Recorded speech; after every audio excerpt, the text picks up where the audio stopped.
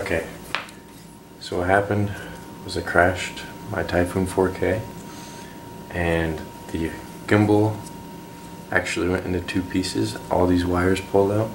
So I'm going to try to tell you guys how to fix this right now.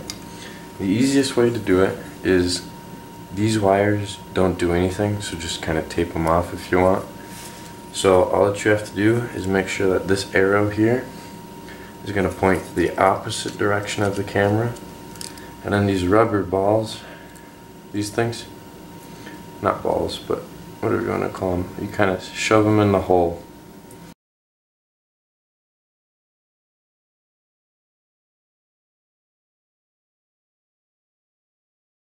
And you can also use a small flathead just as long as you don't pierce the rubber.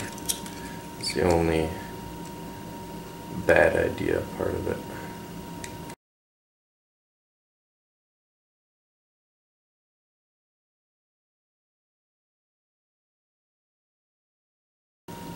Same gimbal.